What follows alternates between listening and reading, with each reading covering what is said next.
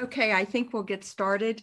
Uh, welcome, everyone, to this two-hour webinar discussing prevention and treatment as relates to HIV and hepatitis C uh, in West Virginia.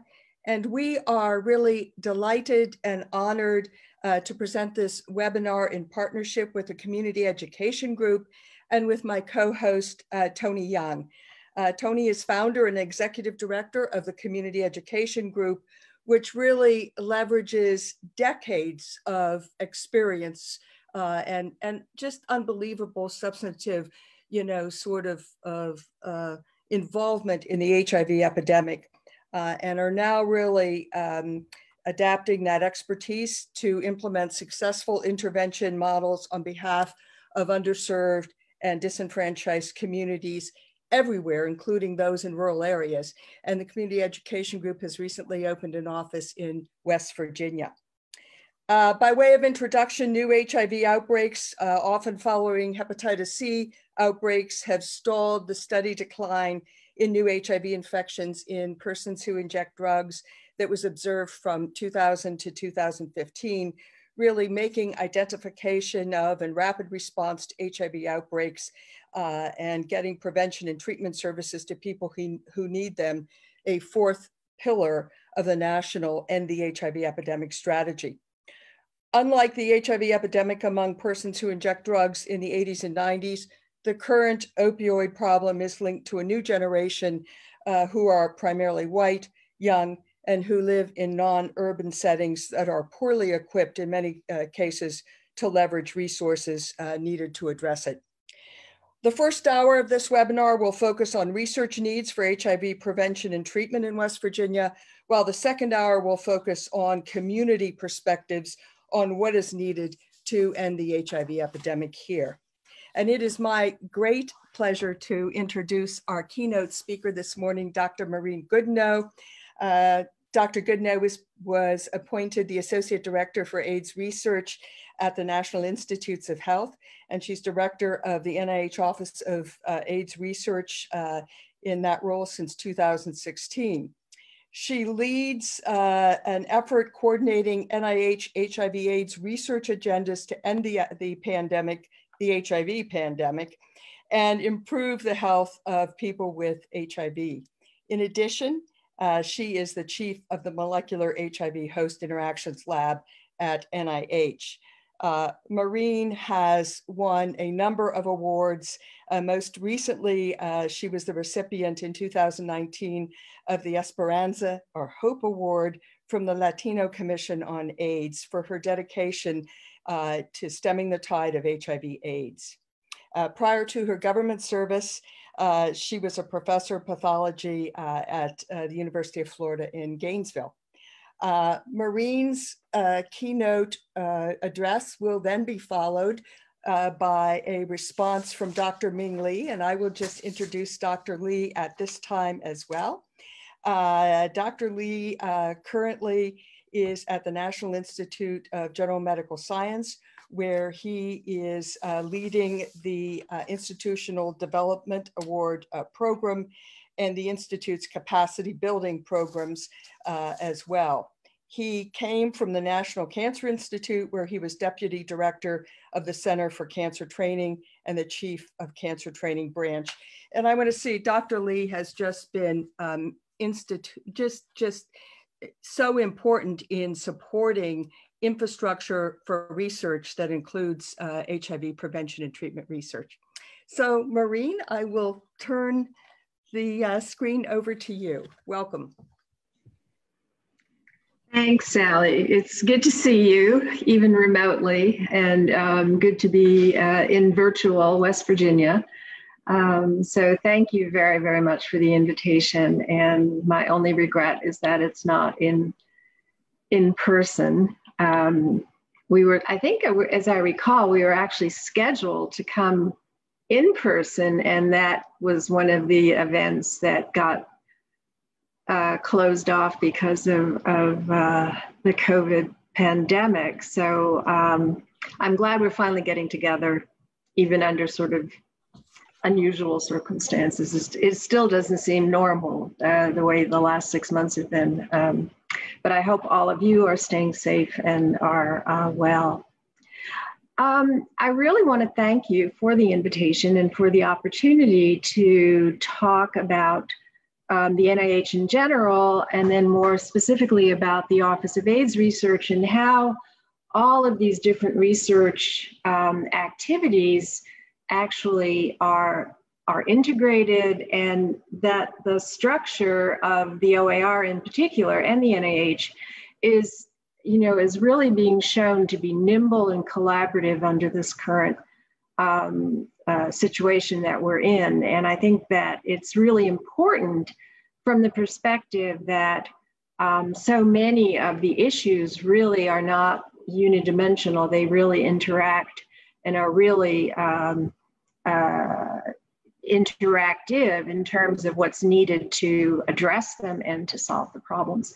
So I'm going to go rapidly through a slide deck that mostly I'm uh, I want to just give you an overview and also to leave you with more information than I actually go through in detail because while I'm starting off by talking, the real purpose of these um, activities is to listen and to hear from you um, and what your thoughts are and what your ideas are and what your concerns are. Um, so with that, I think someone is going to do my slides, I hope. Uh, yes, Dr. Goodenow, I will pull up your slides and just let me know when you'd like me to advance to the next slide. Okay, great. Let me just find my, okay. All right, so we're on the first slide which is the title slide.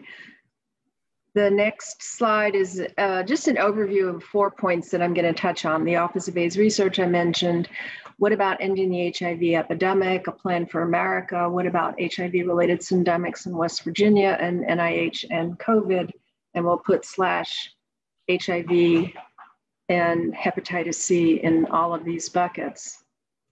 Um, a quick background um, on, in, in the next slide. The mission of the National Institutes of Health in general is to seek fundamental knowledge about the nature and behavior of living systems and the applications of that knowledge to advance health, lengthen life, and reduce illness and disability. And I think that's a wonderful mission when you think about it and, and, and the relevance it has today just as much as when the NIH was founded a number of years ago. Um, the NIH is comprised of 27 different institutes and centers. The headquarters are pictured here, located in Bethesda, Maryland. Um, and but with a very large footprint, as you probably know, in the Washington, DC area. In the next slide, one of the 27 offices and centers at the NIH is the Office of AIDS Research, or OAR. And the vision for OAR is to advance research to end the HIV pandemic and improve health outcomes for people with HIV. And our mission is to ensure that the research funding is directed at the highest priority research areas and to facilitate maximum return on the investment.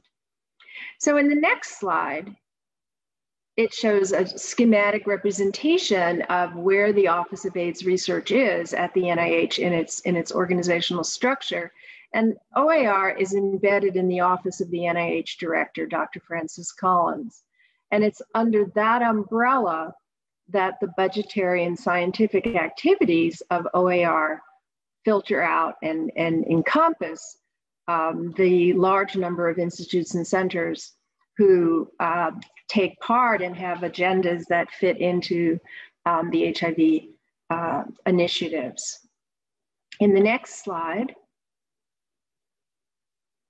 the way the resources are, are deployed for HIV research is really uh, grounded in the NIH priorities for HIV and HIV related research, which um, is a document that NIH, um, OAR has developed and actually uh, revised recently. But there's basically um, four major priorities reduce the incidence of HIV, develop the next generation therapies, conduct research towards a cure, address HIV associated comorbidities, co infections, and complications. And then cross cutting across all of these um, uh, four, uh, four focus uh, areas are cross-cutting areas of research that includes basic science, behavior and social sciences, epidemiology, implementation science, which is getting more and more important, information dissemination and research training. Um, and so this is um, an overview then of how um, uh, how the uh, OAR works within the NIH. And in addition to having our research priorities, there's also um, an NIH strategic plan for HIV and HIV related research. Next slide. And this is uh, officially launching October 1st for FY 2021, and it will be in place for five years. It's the first five year strategic plan for the, um, the HIV agenda at NIH. And it's really developed from, um, it provides a roadmap for NIH research, HIV research. It ensures that funds are allocated based on the research priorities. And it builds on scientific progress and opportunities for advancing HIV research towards an end to the epidemic. Um, and in the next slide, what we're showing here is what has what is the history of, of HIV funding at the NIH. And you can see since the beginning of the epidemic in 1985 and the time when the Office of AIDS Research was established um, in 1988, there's been a steady increase um, up to almost $3 billion a year that's allocated for HIV research. And while that's been relatively steady over a period of 10 or 12 years, in uh, 2019, there was a $45 million increase, and in 2020, a $25 million increase. And these have been allocated to um, high priority areas within the different topics. In the next slide, I think this is the link then between the activities and, and how we decide what to do because stakeholder views are incredibly important. Um, priority setting, strategic planning, budget allocations are all informed by stakeholder input, and our stakeholders really cover a large um, a network of individuals. So inside the NIH, we have a, a, council or a coordinating committee, the NAC, and many other internal NIH engagements. Outside the NIH, um, we engage with stakeholders through our advisory council, the ORAC, and working groups, requests for information, RFIs, and these listening sessions.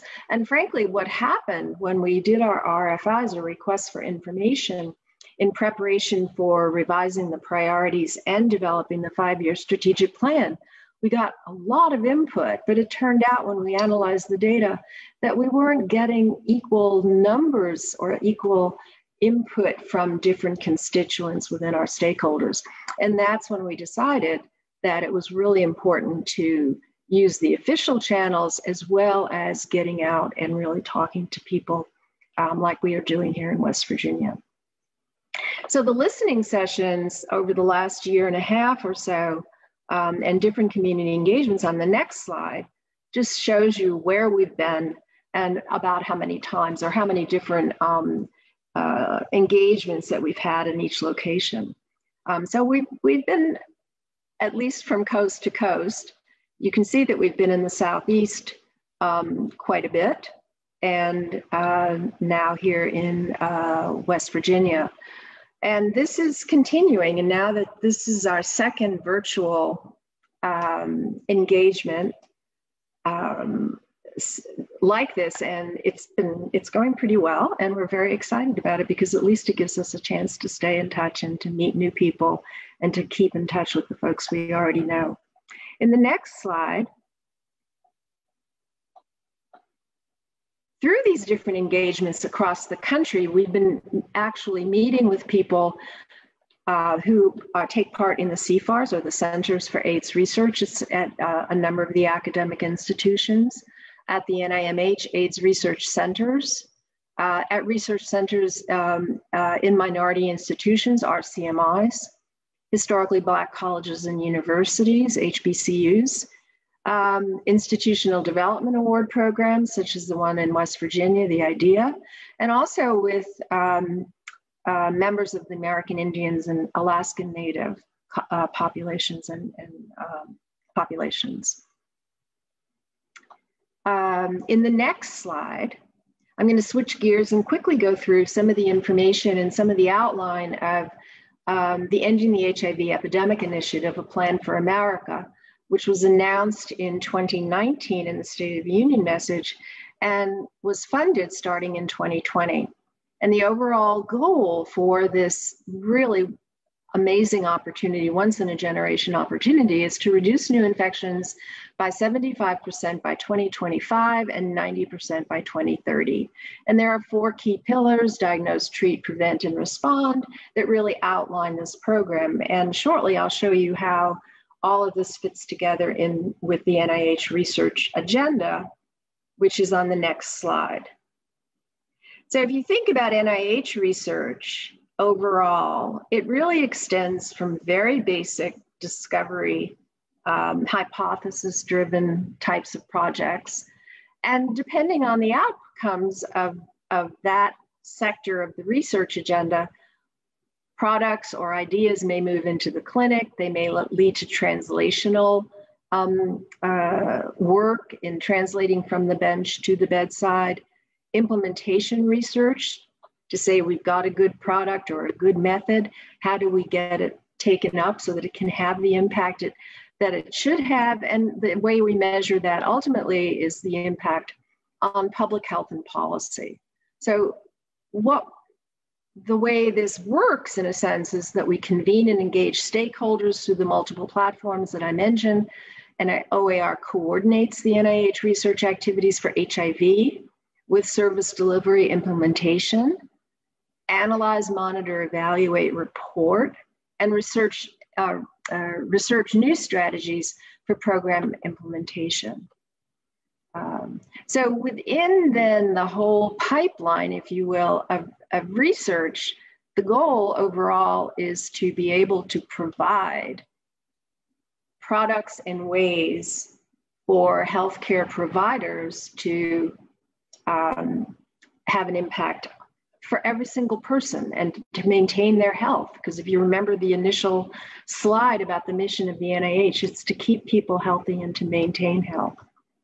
Um, so, in terms of what we're going to talk about more today, and I hope I'm not going too far over my time, um, in the next slide shows a quick overview that of data that you are probably much more familiar with, and that is the HIV prevalence and the rates of HIV diagnoses um, in 2018, and this is from AIDSVu.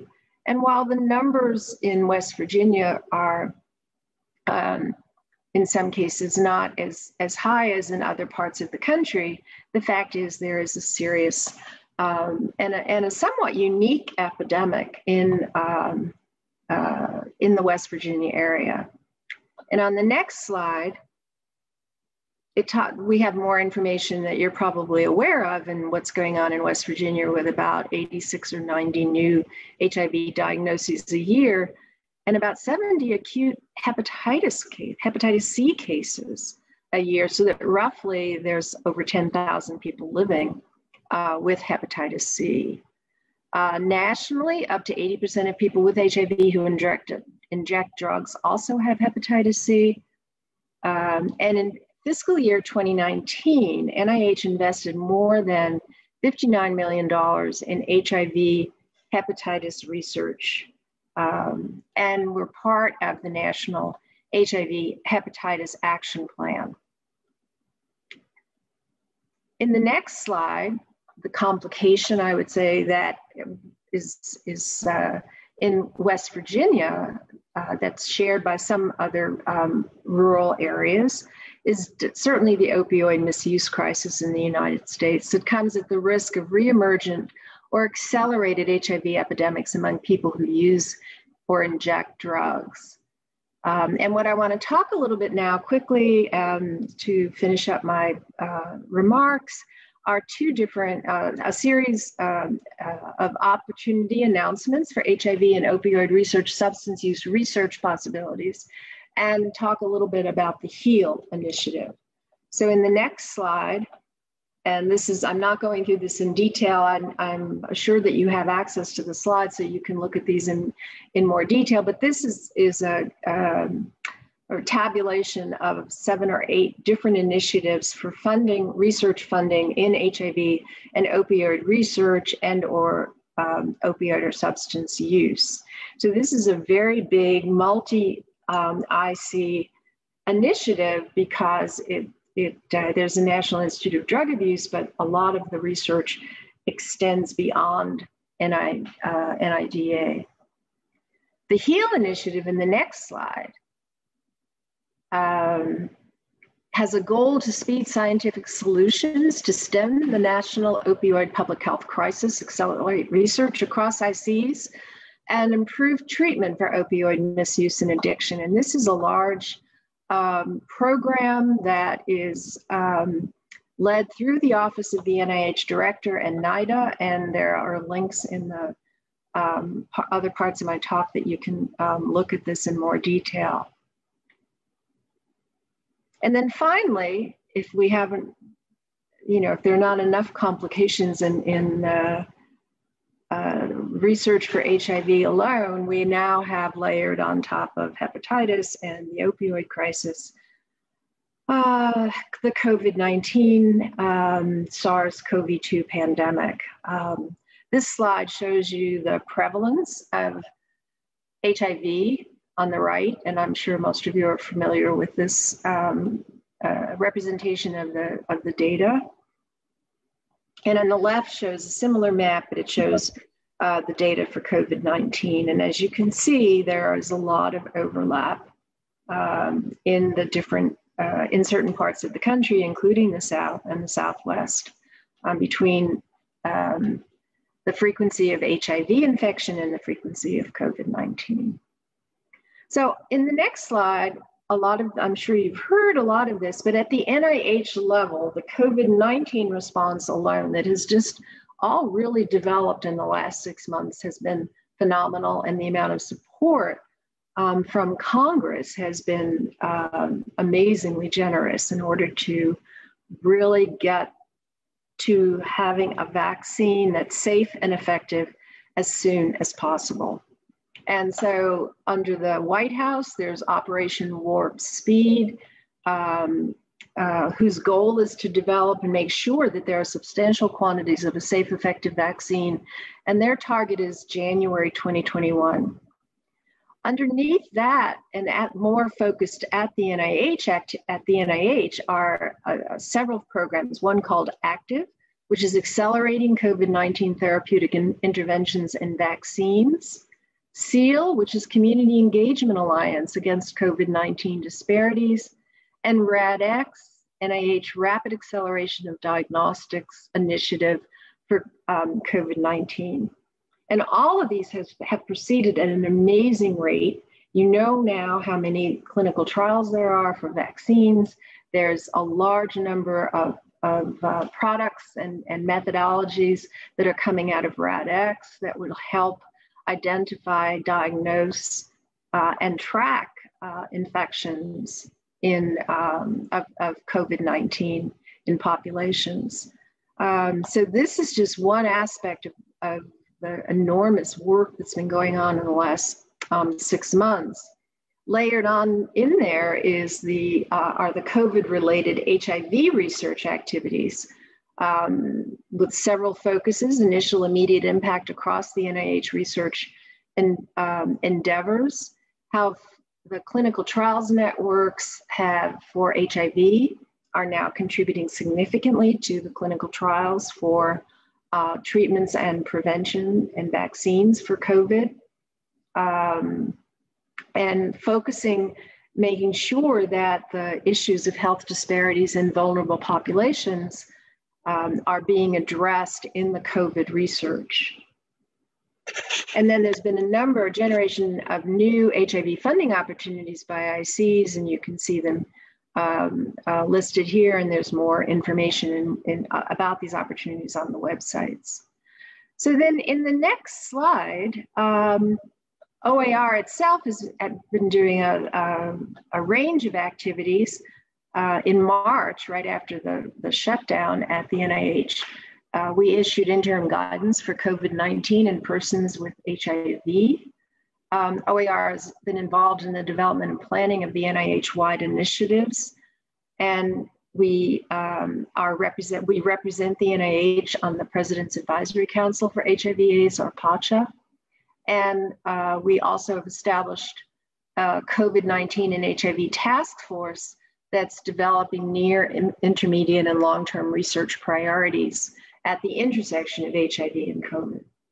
So, in summary, and I'm sure we'll be discussing a lot of these in more detail. West Virginia is demographically, geographically, and epidemiologically unique in the case in rel relationship to the HIV pandemic. HIV, HCV, opioids, and COVID 19 convergence is concerning, and NIH looks forward to accelerating opportunities for continued and expanded engagement. Um, with that, I will uh, turn it back to Sally, and uh, thank you very much. Dr. Goodenow, thanks, thanks for that really very descriptive and comprehensive overview. I'd like to ask Dr. Lei, as the director of the IDEA programs uh, across, uh, to then provide a brief commentary uh, as relates to West Virginia. Dr. Lei? Thank you, Sally. Uh, can you hear me? Yes. Thank you, Sally, and it's good to see you, Maureen. So I think it was in the summer of nine, uh, 2019, uh, Sally joined Maureen and I in Bethesda, uh, had a wonderful dinner, and, and I think there was a couple of drinks too. Um, it, it, was then we, we sort of planned, contemplated to have a joint, for Maureen and I have a joint visit to West Virginia um, for, for Maureen is to uh, provide some guidance and for me is really to learn the landscape of HIV research and HIV um, prevention in West Virginia. so um, I confess to both Sally and Maureen uh, many times that I'm really a novice about HIV my entire remark will consist two sentences. That is, I'm going to agree everything Maureen said. I'm going to support uh, the research need, you know, everything I can do. But Sally said, no, that's not good enough. You have to do more. If you don't know what to say, I can give you a tutoring session. So, um, so I thought, you know, I'll, I'll, come up with a few things that uh, uh, to sort of share with you how can we uh, as IDEA program can, can be supportive of the needs. I'm going to uh, say that in the context of uh, uh the IDEA uh, uh, CTR in West Virginia. first of all, I want to thank you, you all. I don't have slides, by the way. you have to bear with me. Um, I want to thank you all for the time uh, to spend the time to share the time with us. And uh, I also want to congratulate, congratulate you all for having a very, very dynamic leader in Sally Hodder. Um, I, I think um, I'm not saying this lightly because a lot of uh, what I learned about uh, uh, the rural health uh, and uh, the rural health need have been uh, through my working together with Sally and I, I, learned from her. So one element, I think, as uh, Maureen just mentioned, that uh, the HIV AIDS research come to uh, this age, this time, uh, the community engagement and prevention is critically important. It's as important as anything that has been done in the past.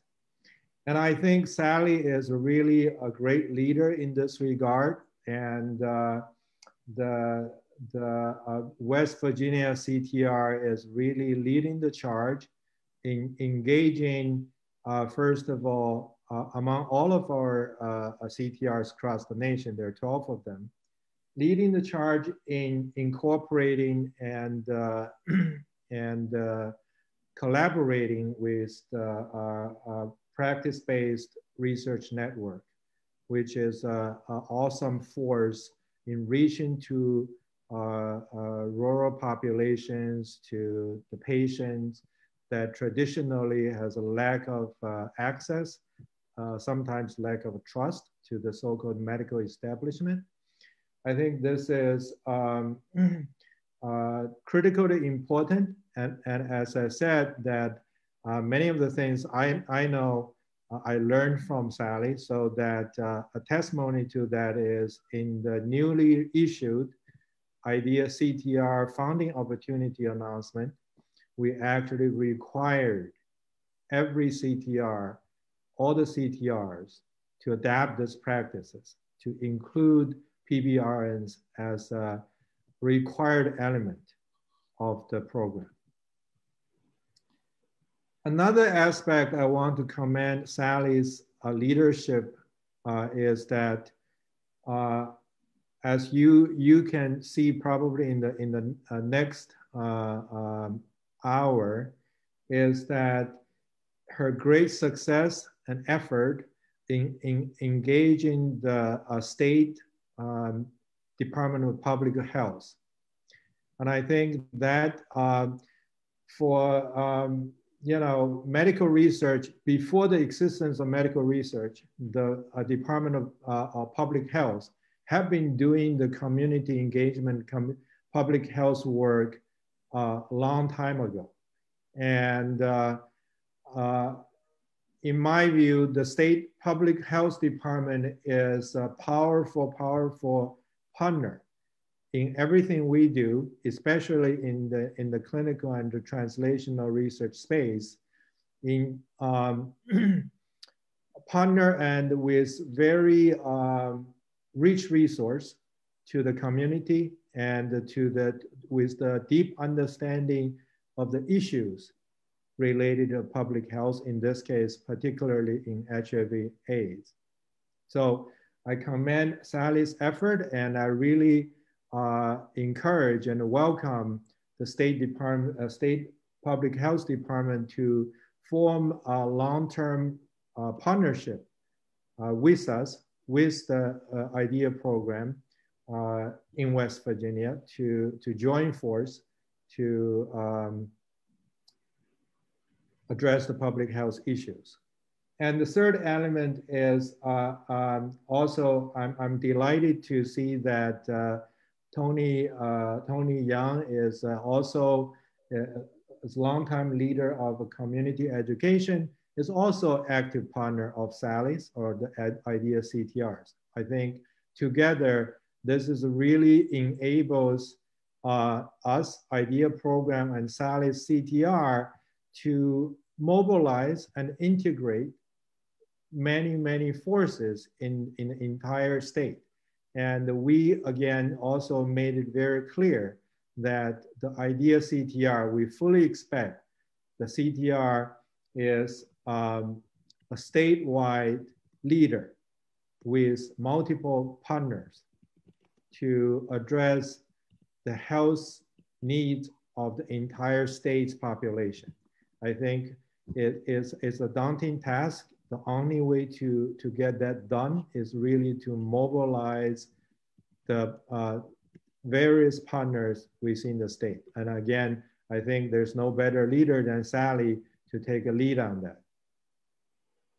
And I also want to comment on a little bit on the uh, COVID-19. Um, and uh, in light of uh, uh, uh Maureen's overview, COVID, the HIV is really linked to you know hepatitis C, to opioid use, and now obviously in the context of COVID-19. And um, I'm, I'm delighted to share with you, I don't know if Sally have told you that uh, through the uh, RADx um, initiative that the Maureen just mentioned, that we just issued a $5 million award to Sally to the West Virginia CTR.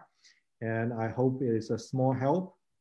Um, and I happen to be leading the uh, NIH RADx-UP initiative, and we are going to be fully supportive. Obviously, again, uh, we fully expect Sally to deliver uh, what uh, she proposed, right? and also related to the COVID-19 uh, effort is, uh, I want to let you know that Sally is the leader of the, the entire uh, uh, IDEA CTR wide uh, registry and also is, is a collaboration between us and, and Sally. And we uh, founded and established a nationwide IDEA state COVID-19 patient registry. And that will collect uh, a large volume of um, patient clinical data, uh, most of them from underserved populations and uh, communities. And um, I'm also delighted to share that through our effort, and this registry will be a critical component of the national COVID-19 cohort collaborated that is run also run by NIH specifically by um, uh, the uh, uh, NCATS. So because of the, uh, it's a great, great project and the, the um, as a, you know, you, you have a good pro good science, good project, you actually will attract resource. And we set up this project and the, the NIH uh, data science office in the OD actually uh, come came to me to say, Ming, can you take $1 million to support this? I was happily uh, receptive to that proposal, right? So we, we expect um, the COVID-19 uh, registry to provide uh, a vital national resource in the fight against COVID-19. And naturally, uh, I believe this will be the first uh, nationwide uh, uh, uh, registry that covers patient data of the, the whole 24 IDEA state. And that will be an excellent start for anything after that. So um, I want to again congratulate Sally and the West Virginia uh, CTR in taking uh, uh, nationwide leadership in, in helping us um, the whole nation actually in this case. And finally, I want to say the IDEA program really has a very significant uh, investment in West Virginia. Together with the IDEA CTR that uh, Sally uh, leads, we have an INBRE program. It's a, it's a statewide program that links up not, not only West Virginia University, Marshall University, and a dozen other institutions across the state. And Sally, again, is playing a critical leadership role in integrating those two statewide networks, having the INBRE director, PI, be the associate director of IDEA CTR. And we also support a number of uh, uh, COBRE awards. Those are same-centric research program to develop a competitive R1 investigators uh, for the future. So if you combine those, and we also have uh, uh, uh, accelerator, accelerator hub site in West Virginia that helps translate research discoveries into um, health product and care. And together, uh, some may, may, say the IDEA program really is the biggest game in town in West Virginia. We really represent the single biggest program in West Virginia among all the NIH programs.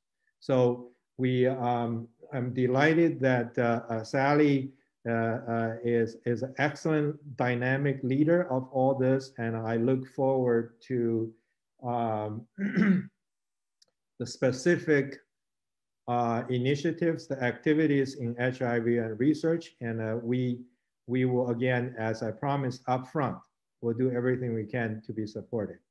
Thank you. Uh, Ming, thank you very much for those kind words and the support, though I would say it's not so much Sally, it is the great partners. And I would like to introduce two of those who have really sort of done many, many things COVID, HIV prevention. Uh, I will ask each of them after introducing them to just give brief comments so that we can get to the questions. And I would ask all of you to please put your questions in the chat box. We are delighted to be uh, joined by Amy Atkins. Amy is the Director of Epidemiology and Prevention Services in the Bureau of Public Health in the uh, Division uh, uh, Department of Health and Human Resources, which is the state health department. Uh, Amy was the first author in the MMWR uh, piece that really described the HIV outbreak, recent HIV outbreak in Cabell. And she has been a tireless partner uh, throughout the COVID uh, epidemic as well. If you think that in West Virginia you just do one disease, that's not it. You, you really deal with it all, and we are delighted to have her. And secondly, Dr. Judith Feinberg, who is a, a I was going to say an old, but I'll say a, a dear friend of mine, but she and I go back decades.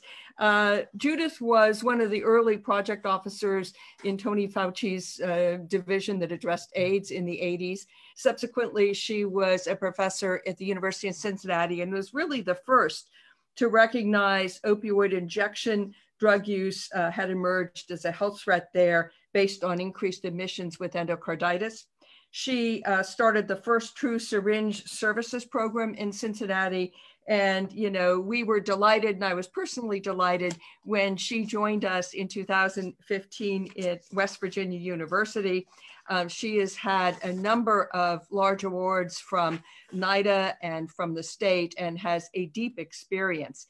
So if we could start with Amy and then we'll go to Judith for brief comments on uh, Maureen's presentation and Ming's comments. And then please put your questions because we'll, we'll go to questions. Uh, Amy? Yeah, so good afternoon. I'm really excited to, to be here with everyone this afternoon. And just to give you a little bit of information around, around my background, I've, I've worked um, for over 20 years in the state health department, primarily with state and local public health agencies around infectious disease, environmental health, and, and community health planning programming. Um, and entered into this position about three years ago. And, and as, as Sally mentioned, um, was immediately faced with the opportunity to work with federal and state and local partners um, to support response to an outbreak um, of HIV in, in Cabell County. And um, it really was during that time that I had the privilege and opportunity to develop a pretty strong passion for HIV uh, work and really got to know a lot of the federal, state, and local providers and um, experts in the area. Um, and um, have thought to myself if I could go back, I would probably spend my entire career doing HIV prevention um, and programming. So I am really excited to be here.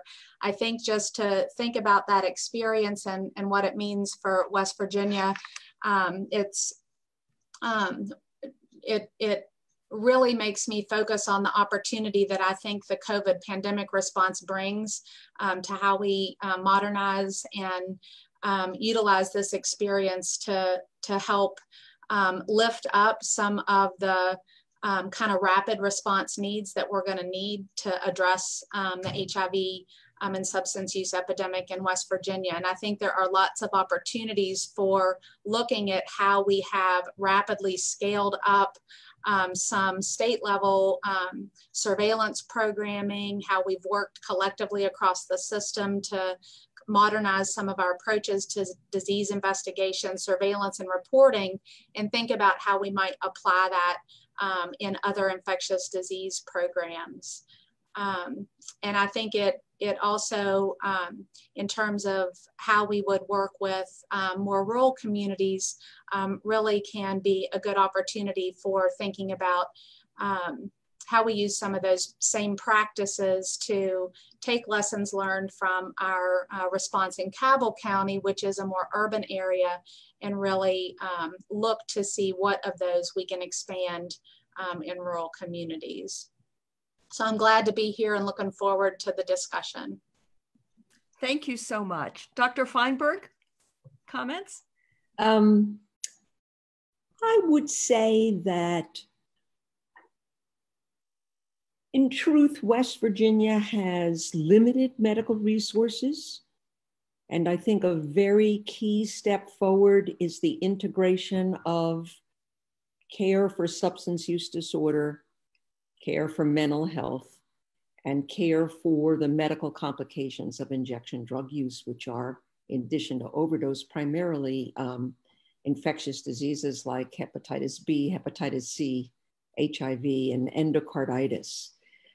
Uh, I know that SAMHSA and HRSA have um, joined forces and put some funding um, out to encourage local community health centers and federally qualified health centers to implement programs like this. That needs to be greatly accelerated. Um, there is an interest and actually a hunger uh, that I have found among um, practitioners at local um, clinic sites to be able to offer the screening and diagnosis and treatment for these problems. But there's a big education gap. For example, hepatitis C is now curable, but if you didn't graduate from your nurse practitioner or PA or doctoral program in the last four or five years, you wouldn't know a whole lot about it because it's very, very new.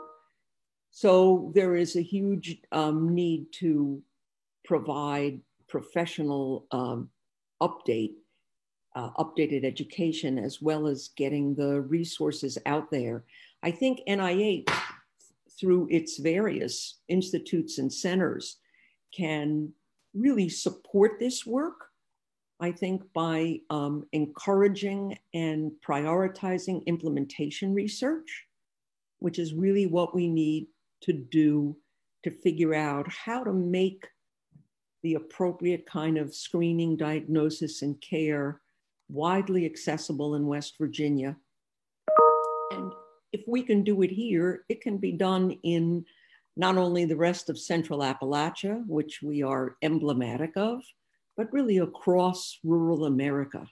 Uh, we're not unique in having limited medical and substance use disorder resources in rural areas, but that is where our population is. And so that is what we really need to pursue. So I'm, I'm hoping that um, we can work together to try to get the right kinds of funding um, requests out that will enable us to uh, respond and to develop programs that work.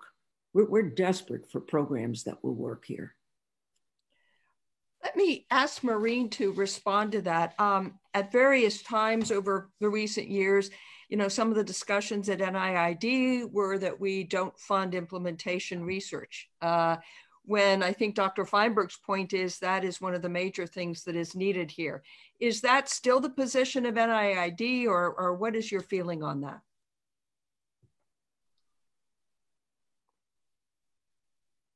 There is really a broad agenda of implementation research in general at the NIH. A lot of ICs, including NIDA, National Institutes of Mental Health, um, and a number of others, uh, Heart, Lung, and Blood, do a lot, you know, have a fairly robust portfolio in implementation research.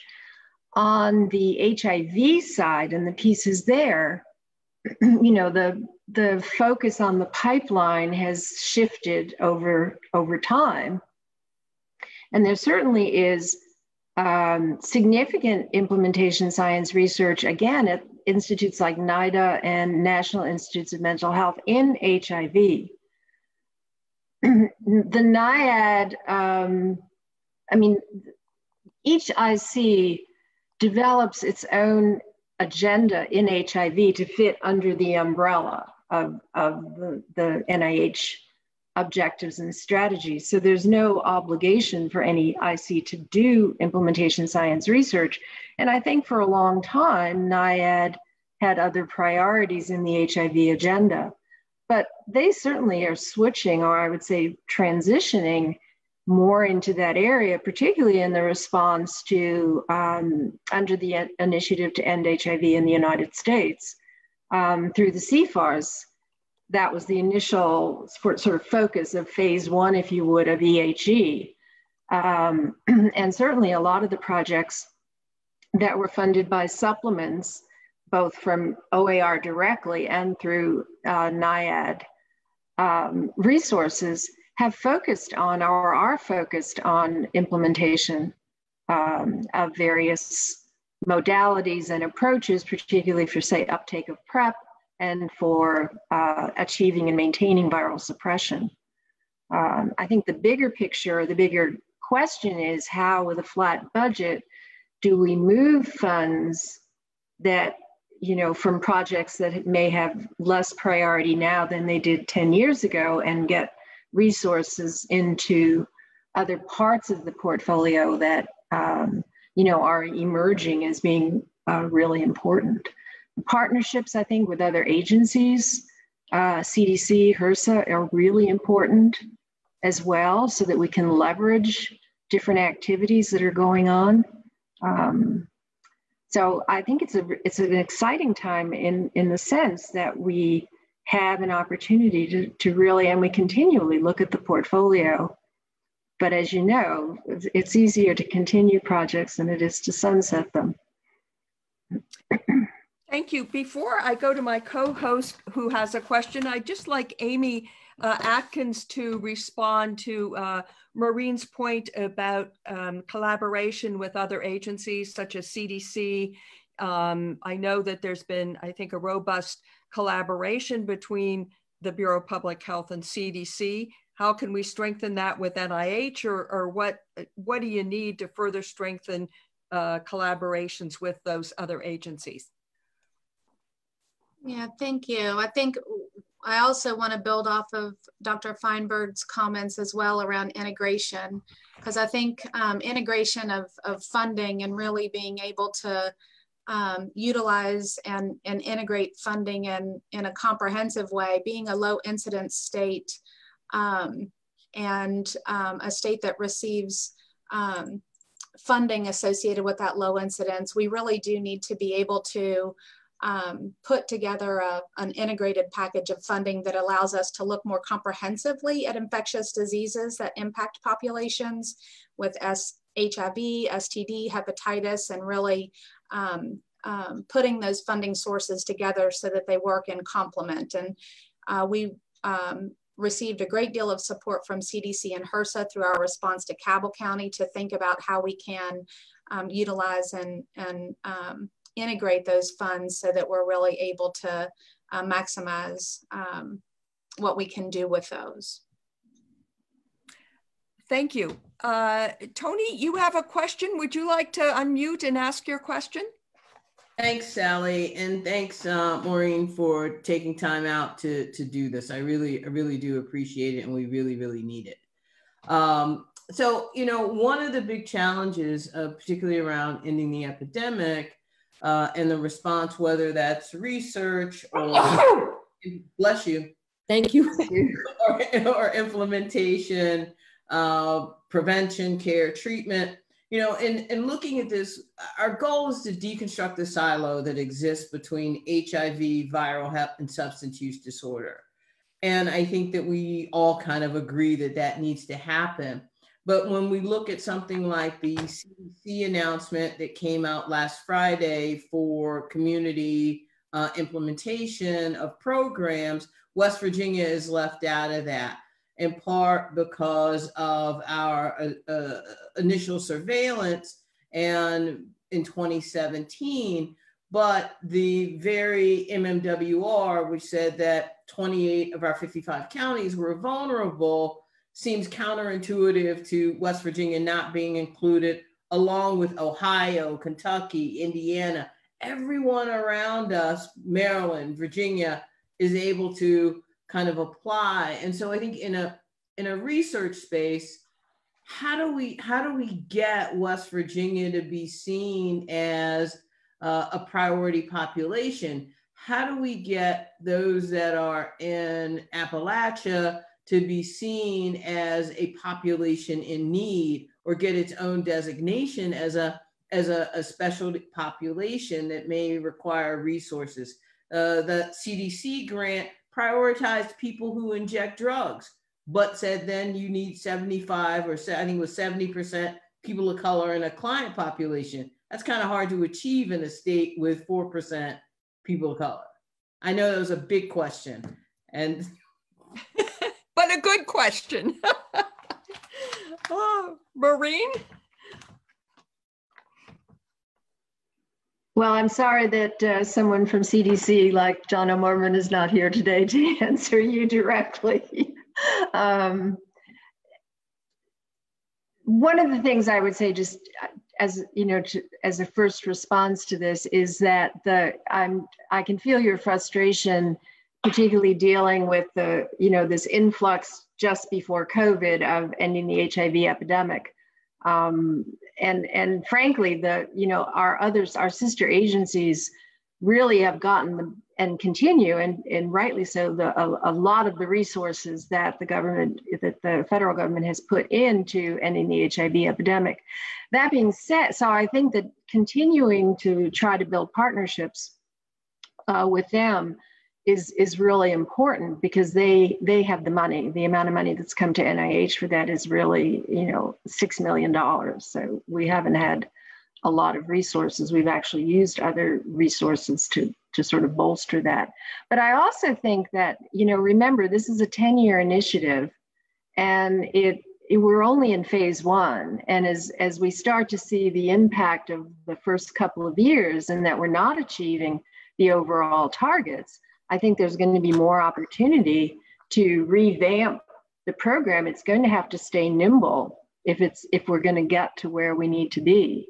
Um, so I wouldn't uh, sort of say, well, we're out of the game because if I were running it, I would say we need to keep moving and expand because we're never going to reach our targets of 50% reduction or 75% reduction if we're only looking at places where 50% of the new infections are occurring. So it's kind of the same, you know, kind of catch 22 that you mentioned from a different perspective. You know, Sally, I'd like to add something to what Toni said, which I, I think was, uh, she had a profound perspective there.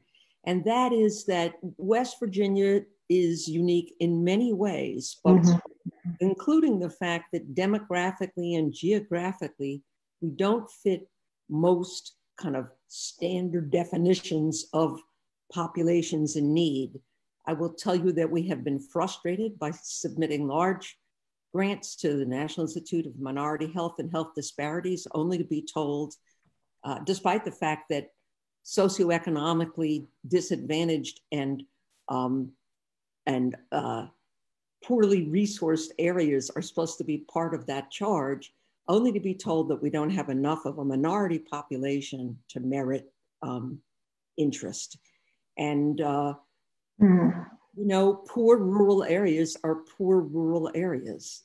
And the research that needs to be done in poor rural areas really is, as I said before, not only helps West Virginia, but helps a great deal of the rest of the country. So, you know, it's hard for us, as Toni said, you know, to meet qualifications that assume that what is true in urban areas holds true across um, uh, regions and states like West Virginia that are primarily rural. I think the other piece that I would love the um, uh, Dr. Goodenow and Dr. Lei to think about from an NIH perspective is it's costly to do research in areas that are remote. There's no public transportation outside of the cities, the major cities of West Virginia. You know, to you, you have to drive across the state to accomplish that.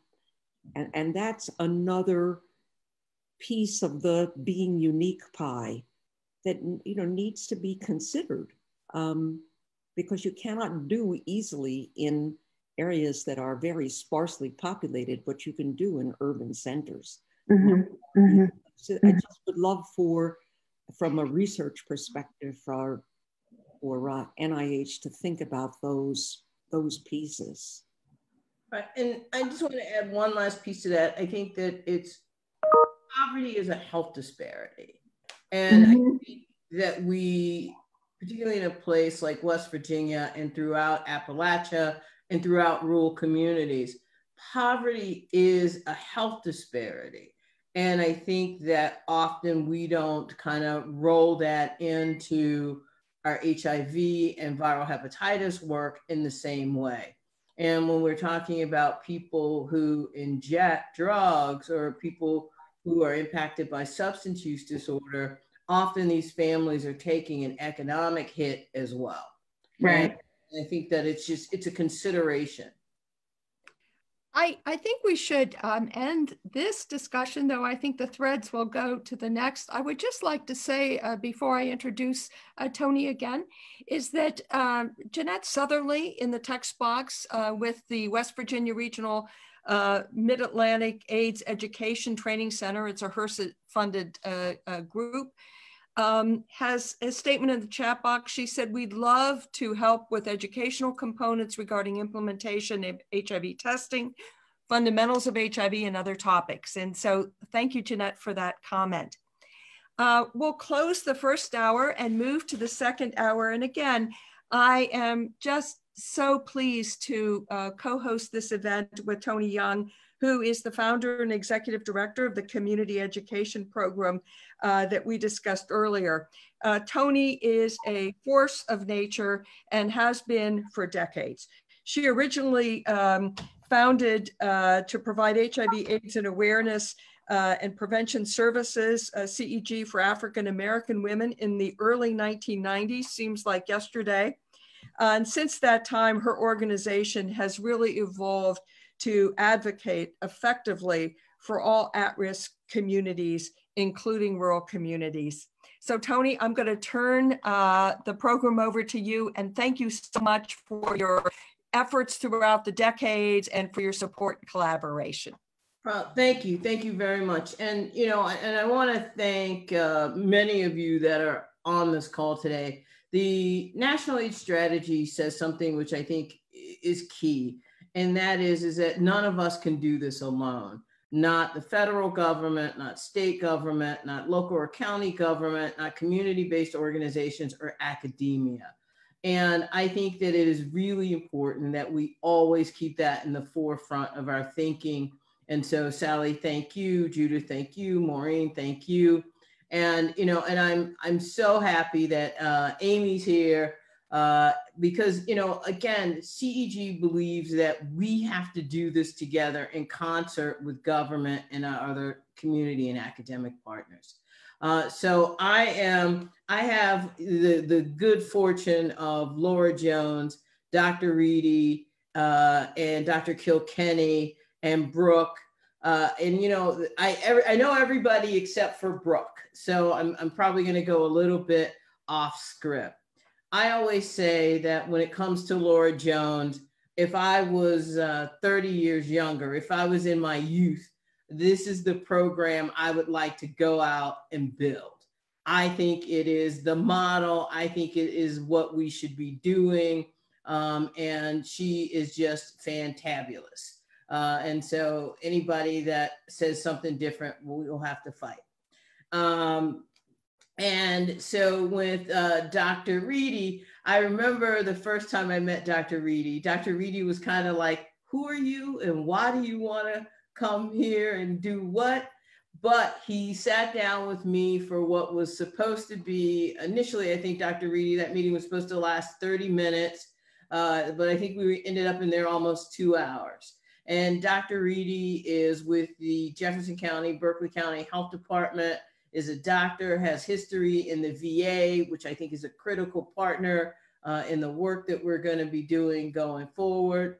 Uh, and so that in, everybody will come back and give their own introduction, but I'm, I'm giving my introductions now. And then Dr. Kilkenny, um, Dr. Kilkenny, I still think Dr. Kilkenny always worries when I call. Um, if, if I'm calling to blow up the place or if I'm really calling to be uh, of support. I think that Dr. Kilkenny has done a yeoman's job in Cabell Huntington. Uh, I think he was, what was put before him was so unexpected, but stood up in a way that many public health, uh, I think many public health officials would have cowered from. But he made sure the community was engaged and I really think did a ton of work. Brooke is with SOAR, and I know I know Joe Solomon more than I, I know Brooke, but they're doing uh, harm reduction and needle exchange work uh, down uh, in Cabell Huntington. And again, you know, if I were a younger person, maybe what I would do with my life, but I'm old and I have gray hair and I'm not going out there. Um, so we have a couple of three questions that we're going to go through, but maybe now y'all can do your introductions and uh, kind of wipe off some of the tarnish I may have put on your names. Um, let's start with Laura Jones. You have to, yeah, you go. Good afternoon, everyone. Thank you so much. Uh, Toni, as you know, um, I had gray hair when we uh, started our program and uh, actually I didn't have gray hair when I started working at Health Right 20 years ago. Um, we are uh, a charitable, free and charitable clinic, um, one of six in the state of West Virginia. And when you've seen one free and charitable clinic, you've seen one free and charitable clinic. We are all very different. Um, we operate out of Morgantown, but we serve the entire north central West Virginia. Basically, we don't turn anyone away for health care.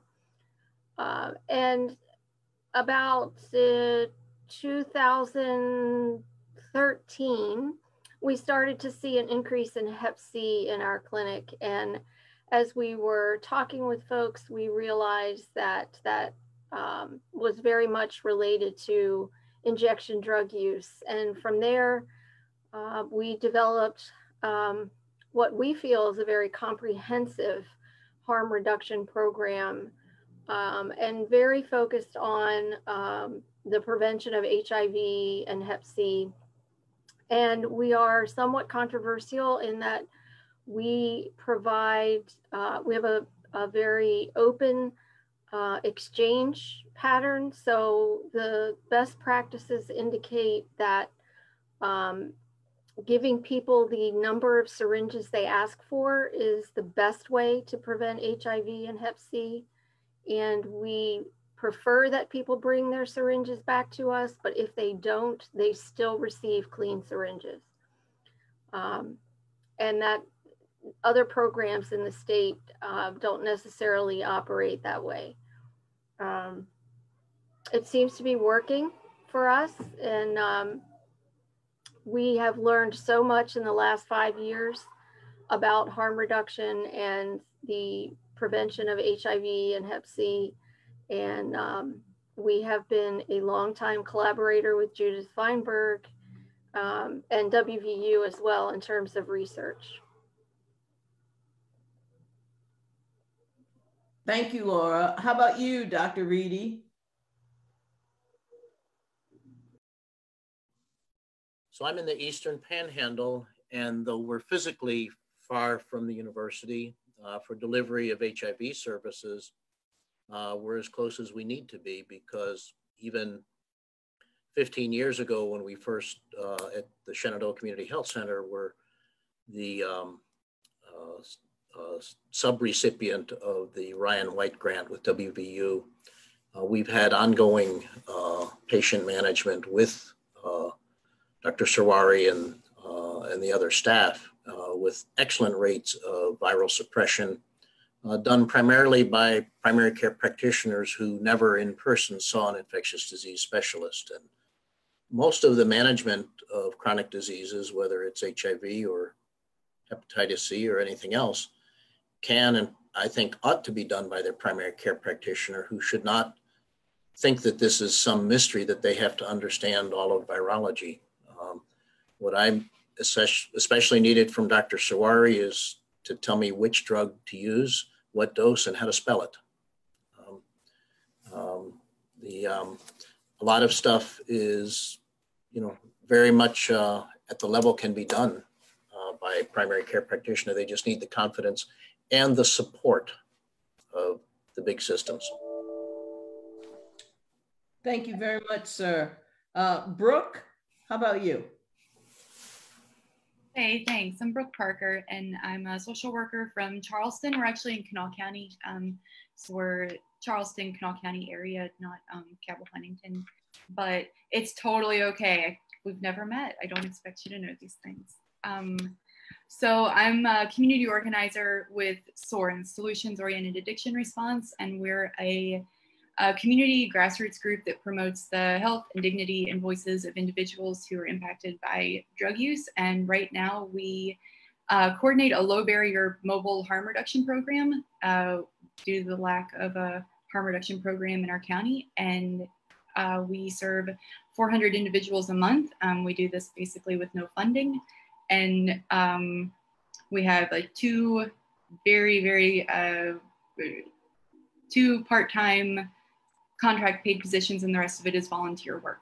Um, we don't, that's how we're sustained is absolutely through volunteer work. And we're working on bigger grants, but right now it's donations. Um, our focus is to put people with lived experience at the front of our decision-making model as the experts. We absolutely hold them as the experts um, so that decisions and direction is decided by the people that understand the problem the best. So I come to this as a social worker and a community organizer who got, um, I got my foundation in community organizing through harm reduction, and I'm a person in long term recovery. So that's who I'm here with. Thanks, Brooke. Uh, Dr. Kilkenny, are you here?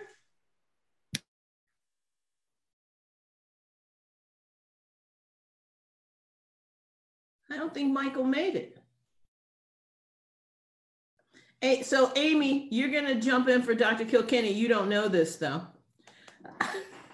So, so I'm going to put you on the spot a little bit because I'm going to roll into our next question. I hope you don't mind, but because our first community question that I want to ask the panel is given the direct correlation between HIV, substance use disorder, and viral hepatitis, how has uh, this work been impacted? How has the state's work, uh, in this case, Amy's case, the state's work been impacted by this syndemic? Right? And so I think the question is also for the for the panelists. And you might even throw COVID in there. How has your work been impacted by all of this? And kind of what are the are there community uh, research implications? Are there is there applied community-based research that could be done? So that's one big ball of a question. So hi guys. Um, I, will jump in here and um, share a little bit of context, I think, from our work with, with Cabell County. But to step back a little bit, um, I've been in this office for the past three years, but have worked in infectious disease for um, a while, um, more as a systems and policy person. And just to think about the impact that the substance use epidemic has had and on infectious disease programming um, you know, we we all see um, the impact that these diseases are having in terms of the burden um, and where West Virginia sits in terms of um, ranking for these programs. But we also see um, the capacity of our state, both at the state level and in rural communities, um, has remained level with funding, if not decreased. And so it it really has been um, one of the greatest challenges and will be one of the the things that we're looking to COVID resources actually to, to help us think about modernizing the way we approach um, infectious disease programming every day. Um, so thinking about how can we integrate um, funding, how can we integrate uh, the data that we have, um, how can we um, utilize funding to build capacity for COVID, both from a surveillance perspective and a disease investigation perspective um, that helps us um, improve um, identifying individuals who need who need link to care and also making statewide data available in a more integrated fashion for public health action. Um, so I'll, I'll start there. Um, I, I would like to just share from a Cabell County perspective um, that some of the things that we um, knew were uh, kind of key tenets of success um, as we started to work on that response um, was really the collaboration of the federal, state, and local partners to really come together and, and work on a rapid response and a targeted response. Um, I think the other um, couple of things that were really critical to our success was the fact that there was a lot of information about um, the people that we were trying to serve. Um, the community had done a lot of work to build relationships and knowledge about the needs and barriers. And from a state level perspective, those are things we want to um, integrate into our state planning and our state programming is more um, connectivity and um, understanding about the needs of the people that, that we need to serve. Um, and then there was a strong infrastructure there. And, and we all know and just had a, a nice discussion about um, how that we really need to try to understand how to, how to integrate some of these principles that we know work uh, in terms of integration of services and making services available wherever people are seeking them and have trusted relationships. How do we do that in rural communities where we may not have as robust of an infrastructure as we need from the get-go. Thanks, Amy. So Judith, you wanted to say something? You have to come off of mute. Okay. Yes, uh, thank you, because I, I really want to pick up on something that Amy said. Um, one of the things that I think has been somewhat frustrating is that, for example, we've had two outbreaks, focal outbreaks, right, of HIV, Huntington and Charleston. We have scattered cases around the state.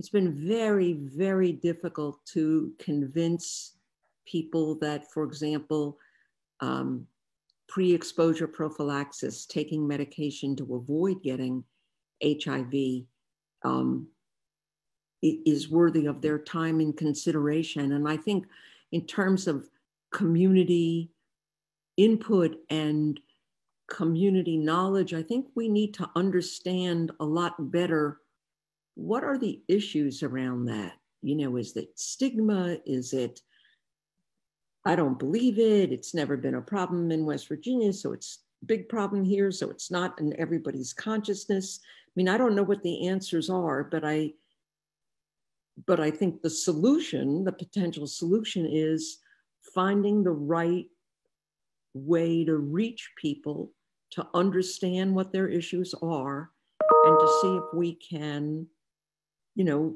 um, approach people in a way that is acceptable to them so that we can prevent the spread of HIV. And it's hard enough to have a lifetime chronic disease like substance use disorder and then have to layer another lifetime disease like HIV, another chronic disorder on top of it. it Hep C, at least we can cure. And we just finished a PCORI study in which we showed that we could very successfully cure even active people who are actively injecting of their Hep C. But we can't cure HIV yet. So it's another chronic disease on top of a chronic disease. So I, I really think there's a certain community level investigation that needs to happen so that we can we can find the right angle to approach people so um, judith i think that i've thought that is it that we need to investigate it or is it that we need to implement it is it that we need a, a statewide implementation strategy for viral hep uh, and for hepatitis hiv screening within that population of people who uh, are impacted by substance use disorder. Brooke, you keep going to the, the land of nod, so I'm going to go to you. Thanks. Um, so, from a, a, boots on the ground standpoint, um, when the pandemic hit, the need for mobile services exploded. We uh, were serving we were making maybe 40 kits a week and going out um, finding people to serve, you know, running around uh, alleys looking for people who seemed like they needed help. And uh, when the pandemic hit, everything shut down. So no one had anywhere to go. If they were going anywhere, there was nowhere for them to go anymore. The need for us to expand our services, uh, we went from making and serving 40 people maybe to 250 and we almost run out every time we go out and this happened it felt like overnight uh, the other thing that we noticed was that because it's hard for people. There might be services in place and there might be somewhere for people to go, but if they can't get there, there's nothing to do. What we saw happening was no one, the people that we were serving, they hadn't been seen by a medical professional. They hadn't been seen in a clinic. They the only time they went to a hospital was for maybe an overdose. Um, they were dropped off at the hospital or EMS was called, or if they were incarcerated.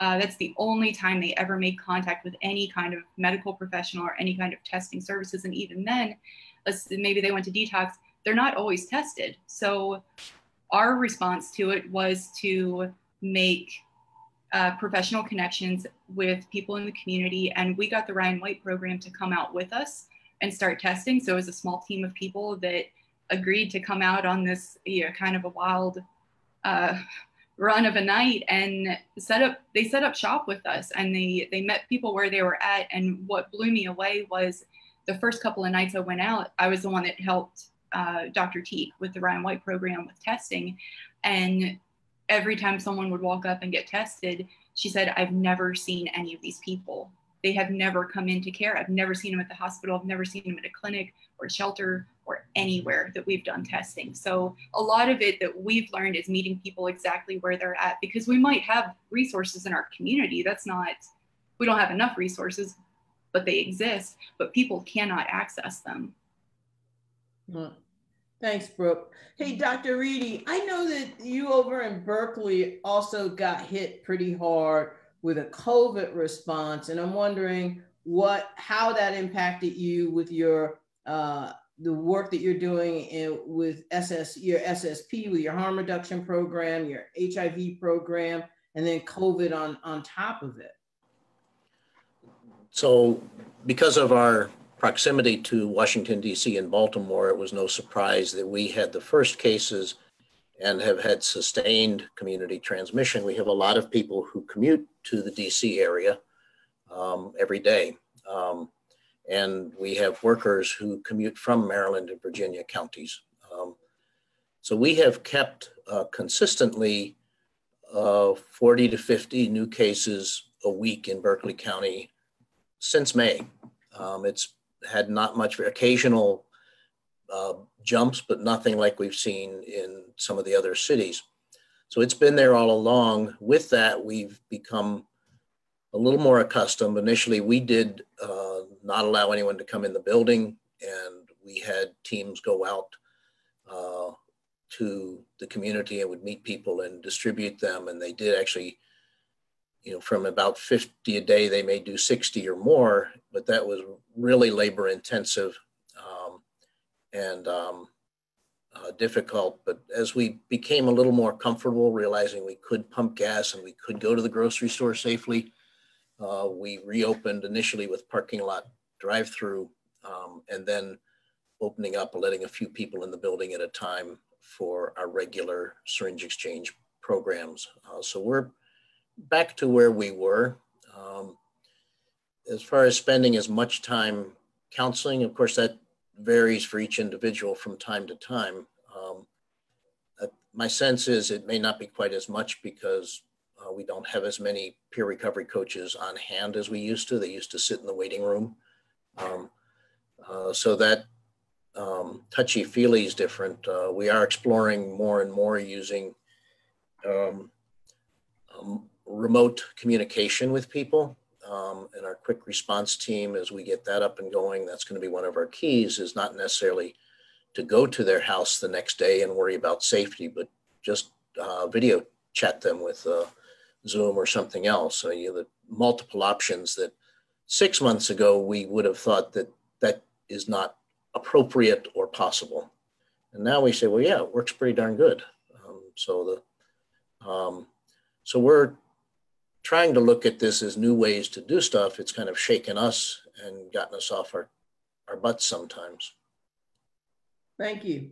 Laura, are you seeing, because uh, you also have a, a, a, homeless encampment in Morgantown that I know that you're doing some work with. So uh, have you seen a higher number of overdoses? How do you see the kind of uh, the syndemic in the population that you work with, role of COVID, mobility, portability of services? which Brooke brought up. There you go. I just dumped it all in your lap. Thanks a lot. Let me see if I can pick something out of that. Um, so yes, we do have uh, a homeless encampment. Um, that's nothing new, but this is a little more organized than usual. And uh, we've been providing a lot of service to them directly. Uh, the overdoses have definitely increased, not just among our homeless population, but among everyone uh, in, in at least in Mon County that we know of. Uh, and we, I really think that it's related to some disruption of the drug supply, for sure. Um, the, the, the difficulty that I see as we move forward is that we have a younger generation who does not see HIV as a serious threat to them. Um, and we have a difficult time convincing some of our folks that getting tested is a good idea they're they're much more worried about Hep C, which in West Virginia is more of a reality for them. But they also don't see HIV as a disease that you're going to die from. And unlike those of us who lived through the very early wave and and lost, you know, multiple people, so um, that's that's been an issue for us trying to encourage people to get tested for HIV. Um, and some of the misinformation they have is another issue. Um, we'll ask people, uh, have you been tested? Yes. Would you like to get tested today? No. How long ago were you tested? Three years ago. Um, but I don't, so I don't need to be tested. You know, those kinds of things are really uh, concerning to us in our program. And at least we're able to begin to address some of that misinformation. But I think that's something that we need in West Virginia is a uh, a plan for PrEP in particular implementation. And I also agree with Judith. We need to know how to present it and what kind of education do people really need because I think we're missing the boat in terms of um, helping young people today understand what HIV is is really really is and how much can impact your life. Um, Thanks. You know, we have a, only a few minutes left, so I'm gonna I'm gonna swing for the fences with the last uh, question here, and that is, how can the federal government be a better research partner to West Virginia? And you know, and I guess in this case, it's probably community participatory practice research. Is it taking science from research to, to implementation, research to action? Um, but that's the that's the last round of questioning. Amy, you're first because of where you are on my screen. Well, I would love to hear from the community first, actually, on this one. But you know, I do think research to action and research to to scale up. I mean that accelerated action is is really critical um, for for our response and and really trying to figure out how we're able to take um, things that are working in communities and really rapidly and quickly scale them up um, is something we're very interested in. Thanks, Amy. Dr. Uh, Reedy. Um, I think looking at the actual problems with those trying to deliver the care and instead of devising these long drawn out studies is have some rapid cycling studies that answer specific questions on the delivery of care. Why aren't people doing the testing? You know, that if you talk about meeting people where they are, many of them are in doctors' offices for many different reasons. Doing an HIV test when you're also doing something else is so simple to do. And it hardly ever gets done because not only the patients, but the healthcare providers don't think we have HIV in rural America, just like we don't have narcotics, right? There's no drug problem in Appalachia. What are you talking about? um, Brooke?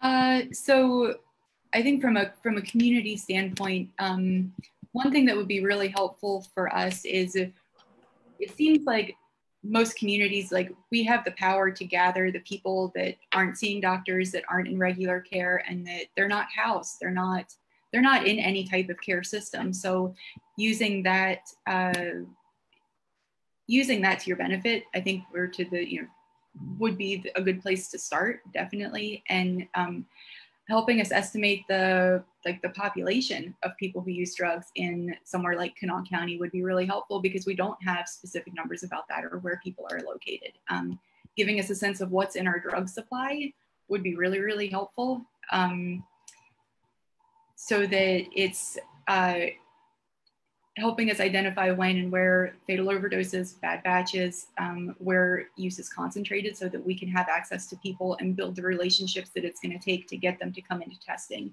and to get them to come into care and stay in care. Because that's, for us, that's what we're learning is that it takes trust and rapport and a connection with people. You show up every week and we just, we hear that they're safe and that they're healthy and that's it. We don't ask anything of them. And that's where we're finding a lot of power and a, a lot of progress. We've been able to bring a lot of people into care just with, it's a lot of time and it's a lot of energy. Uh, it's a lot of resources, but um, we found it very worth it.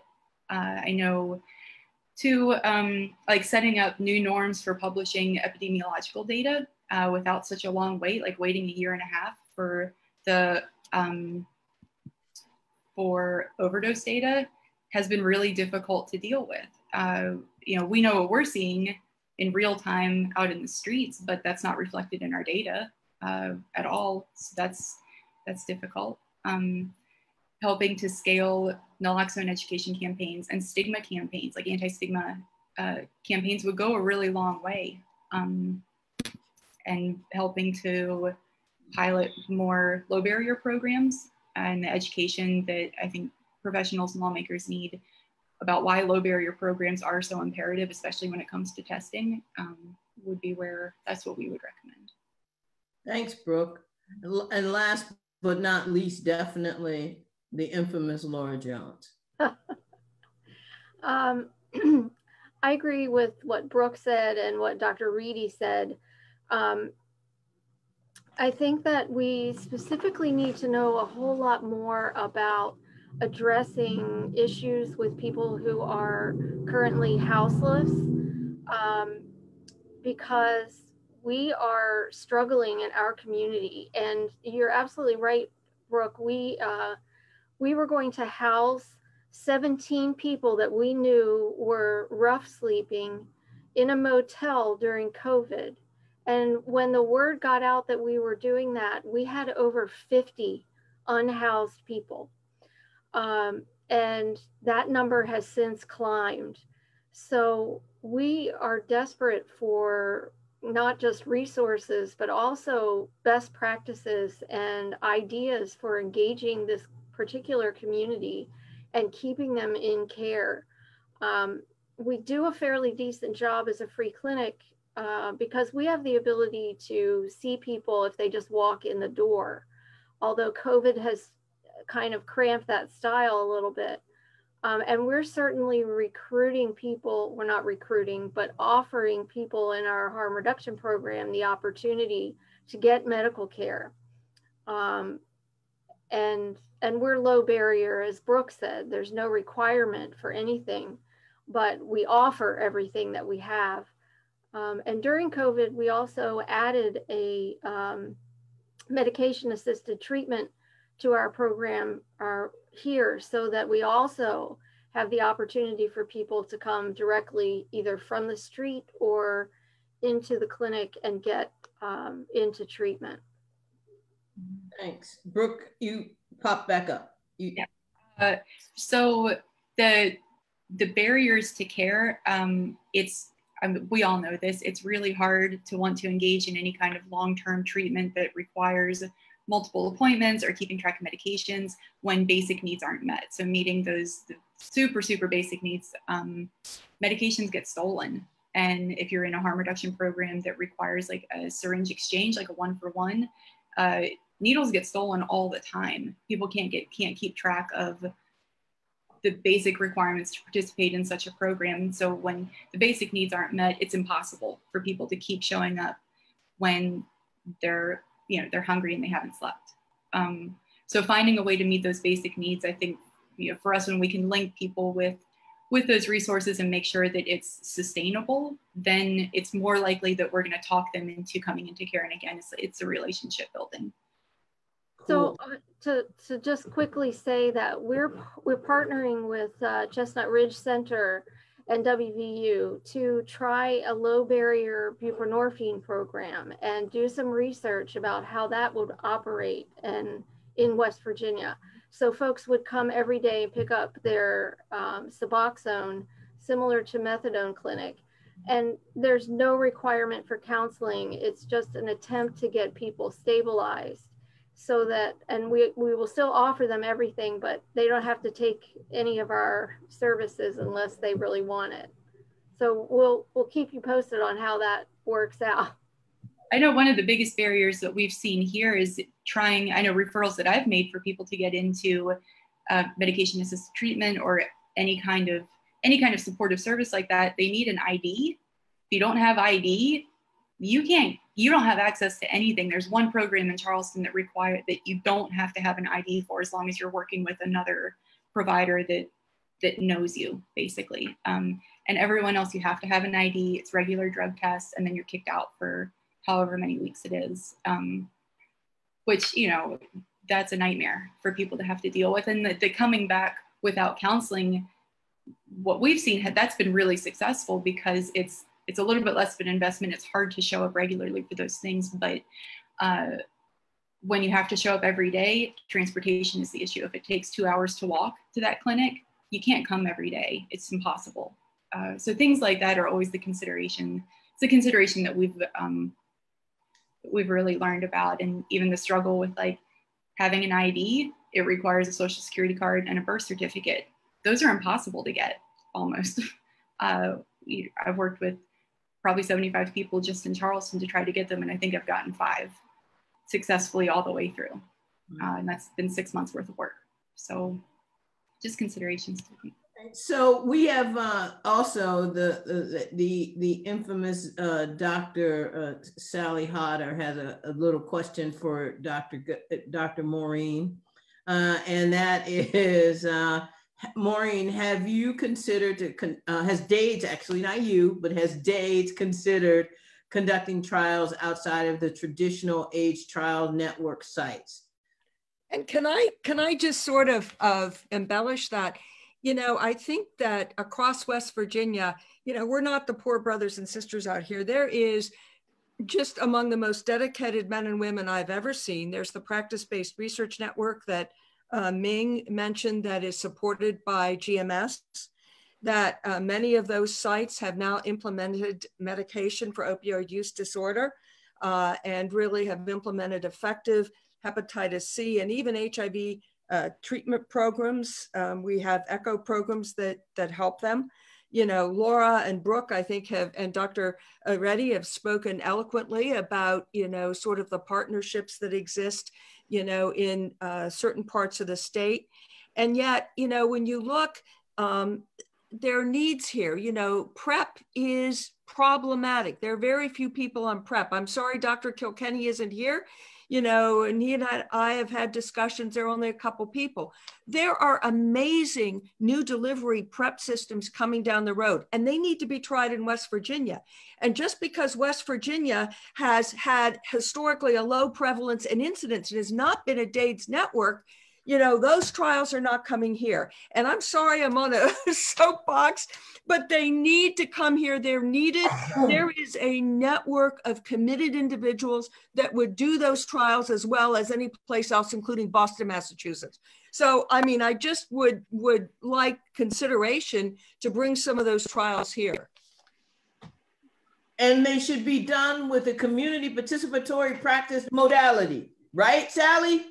Well, right. No, I mean, you know, that's the great thing about the AIDS network. Having worked in Newark and I was protocol chair for 064, you know, there's always a community member or members in those protocol committees. Those protocols are not written without an understanding and community input. And that's why they're, they've been so successful, in my opinion.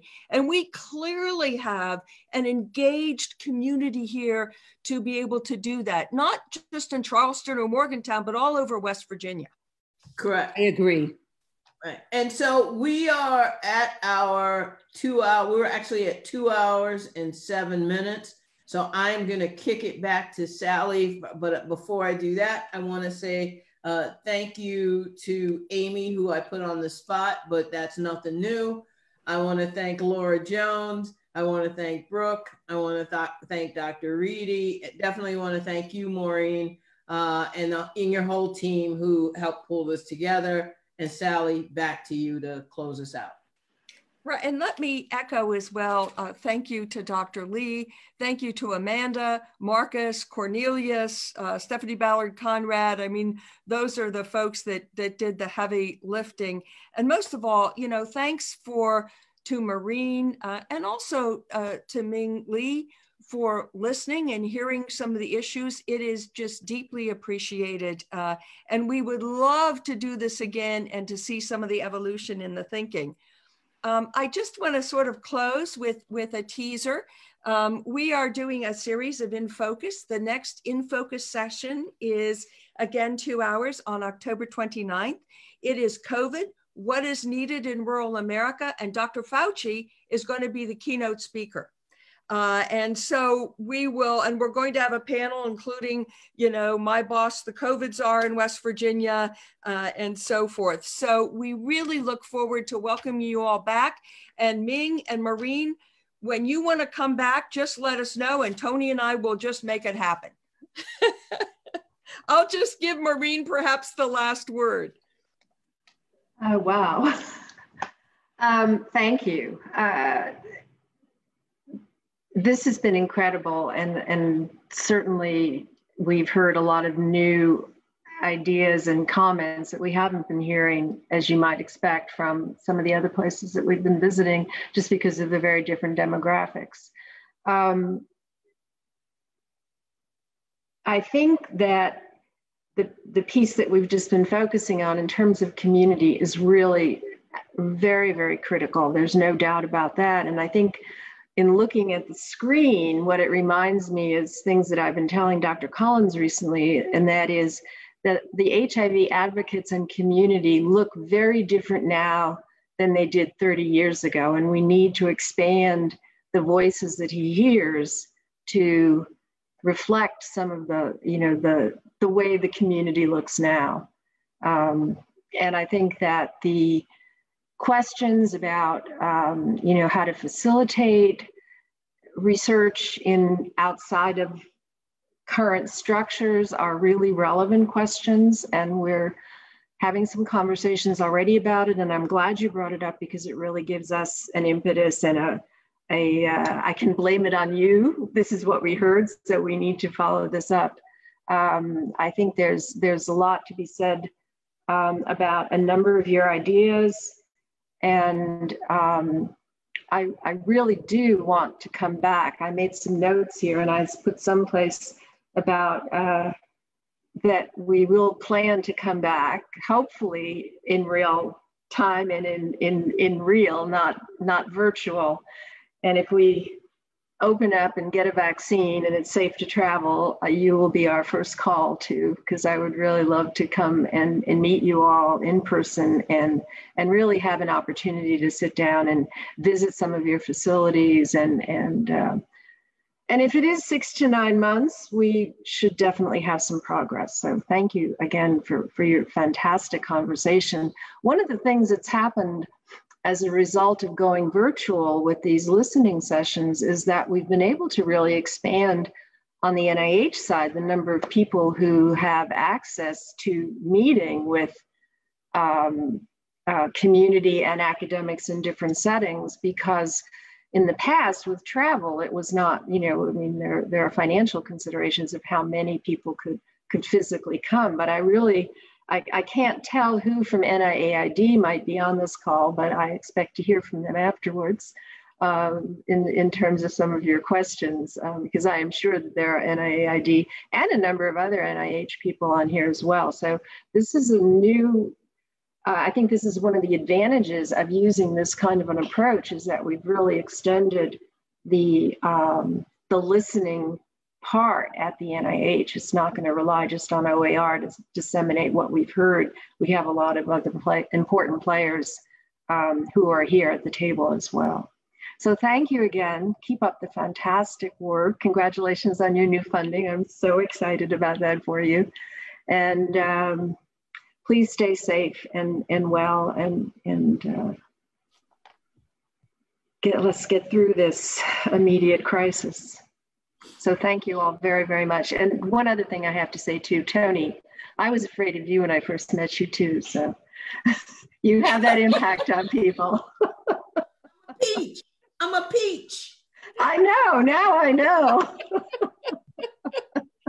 oh, Toni, any last uh, uh, parting comments?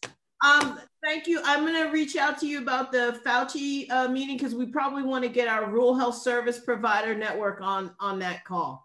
So, okay. okay. All right, folks, stay well. Thank you so much. I thank really you, appreciate everybody. it. Thank you. Bye bye.